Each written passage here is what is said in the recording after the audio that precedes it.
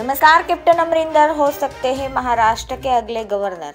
पंजाब के पूर्व CM captain Amarinder Singh Maharashtra के अगले गवर्नर बन सकते हैं। कयास लगाए जा रहे हैं कि भाजपा की टॉप लीडरशिप में इसको लेकर सहमति बन गई है। कैप्टन को नया रोल सौंपने की चर्चा इसलिए भी गर्म है क्योंकि कैप्टन के प्रधानमंत्री नरेंद्र मोदी से अच्छे संबंध है। वहीं भाजपा अमरिंदर को तिरासी मेंबर वाली राष्ट्रीय कार्यकारिणी में पहले ही शामिल कर चुकी है।